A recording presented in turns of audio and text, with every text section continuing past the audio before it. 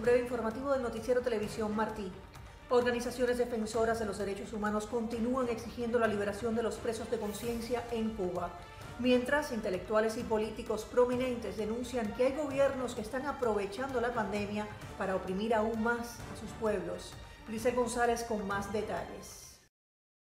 Amnistía Internacional hizo un llamado a una acción urgente para exigir a las autoridades cubanas que liberen de manera inmediata e incondicional al periodista independiente y abogado Roberto de Jesús Quiñones Aces. Entre tanto, el presidente del movimiento Opositores por una Nueva República, José Díaz Silva, fue detenido este jueves por más de nueve horas tras ser interceptado por tres individuos en la avenida Boyeros, en La Habana. Me llevaron para Santiago de la Vega y me levantaron una alta advertencia por instigación para delinquir porque dice que yo era el que promovía aquí en La Habana todas las acciones de la contrarrevolución. Le impusieron una multa por violar el decreto Ley 370. En un manifiesto encabezado por Mario Vargas Llosa, Premio Nobel de Literatura, se afirma que algunos gobiernos han identificado en la pandemia por el nuevo coronavirus una oportunidad para arrogarse un poder desmedido. Han suspendido el Estado de Derecho e incluso la democracia representativa y el sistema de justicia. En las dictaduras de Venezuela, Cuba y Nicaragua, la pandemia sirve de pretexto para aumentar la persecución política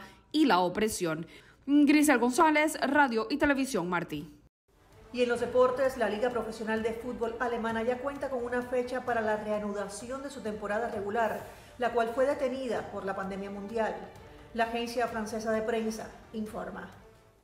Fútbol a la vista en Alemania. La liga de ese país se mostró el jueves dispuesta a regresar el 9 de mayo, con los partidos a puerta cerrada. Pero todo depende de las autoridades sanitarias, que deben dar el visto bueno. La liga promete que los jugadores y técnicos serán sometidos a test de detección de la pandemia cada tres días, por lo que estima en 20.000 las pruebas necesarias para asegurar que los partidos se disputen sin peligros.